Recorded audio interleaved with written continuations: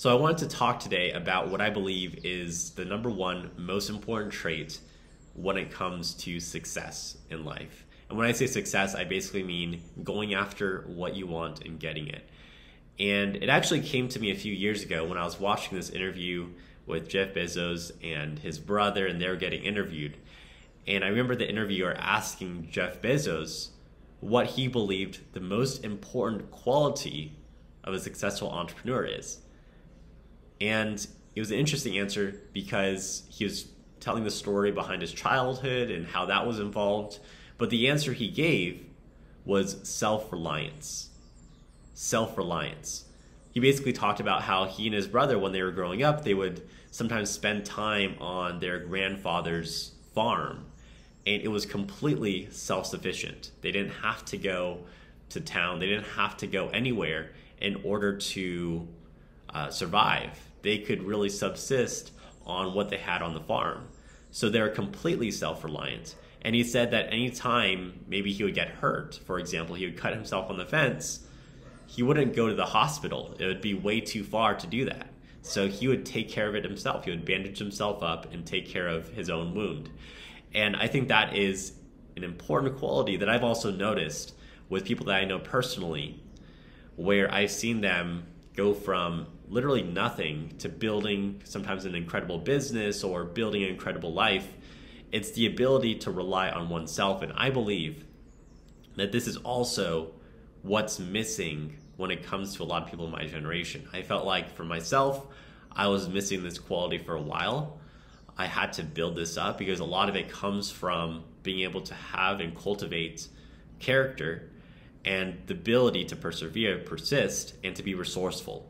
I think this all plays a part in becoming someone who is self reliant.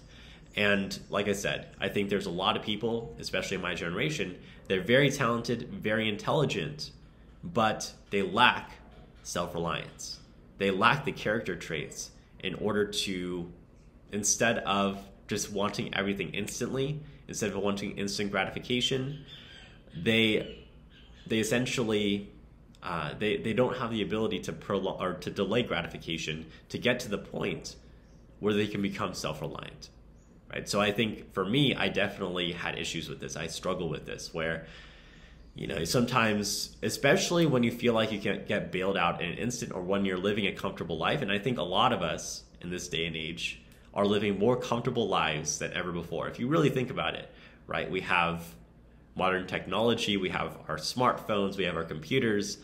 You know we have plumbing. I mean think about it. Like a thousand years ago the world would look completely different. We didn't have the medicine technology that we have today. We would have to be a lot more self-reliant. But the issue with that is you're sacrificing a lot of comfort and conveniences. So of course i don't want to sacrifice the comforts and conveniences but it's about how do we become self-reliant in today's day and age right? That's the question is how can we still have these comforts and conveniences and still become self-reliant in today's day and age? Because without self-reliance you're never truly independent. You're never truly free. You're always depending on someone else in order to solve your problems for you. So I believe that really focusing on developing self-reliance, being resourceful, you know, when your back is against against the wall. It's not even the big things either. Right? It definitely includes the big things, but even the smaller things.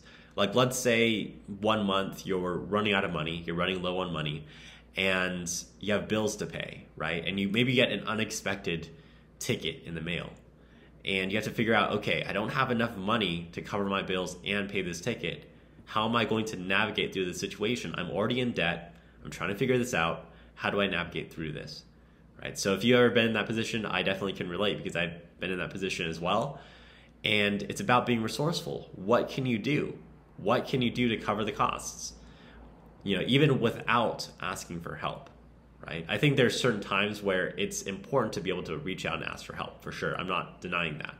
But what I'm saying is maybe take take it one step further and ask yourself, how can I be resourceful in order to solve this problem? If you're able to solve these problems with resourcefulness, the smaller problems, then it trains you, it builds the foundation for you to be able to do the same thing with the bigger problems.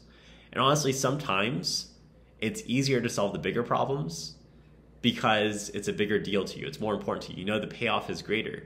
Sometimes with the smaller problems, those are the ones that are more difficult to solve because you're annoyed by them. You don't want, you know, you don't want to take the time to to go through and solve those problems. But for me, what I've come to realize is it's a matter of attacking the problem, like with your full energy and focus, just getting through it, taking care of it as quickly as possible, and being resourceful in the process.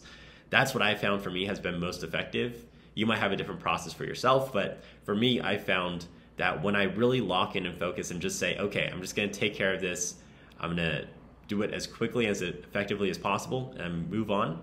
You know, things like paying your bills or doing your taxes or things like that. That's what I'm talking about. Like the things that aren't so sexy, but those are things that you still have to get done, right? And these are the smaller problems. And it's about figuring these things out. And once you're able to figure those things out, the, the more minor problems, then I feel like, once again, you build the, the muscle and you build the foundation to really attack the larger problems in your life.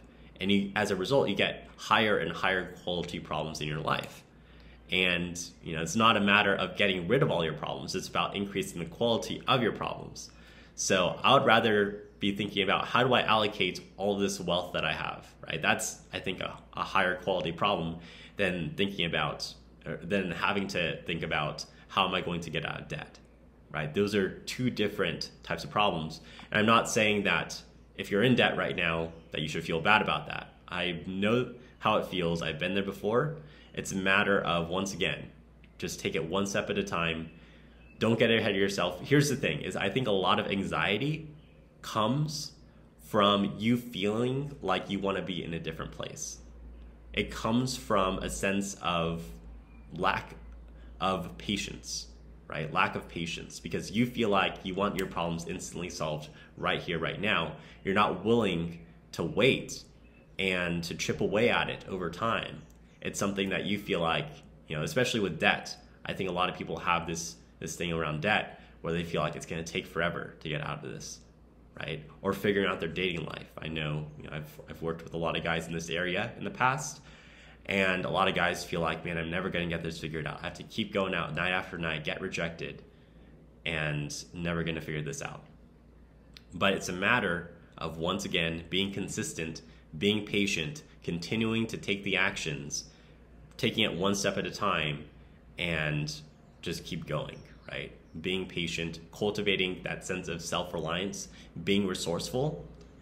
And I believe that is the catalyst behind success in life. I'll leave it at that. Talk to you later. Take care.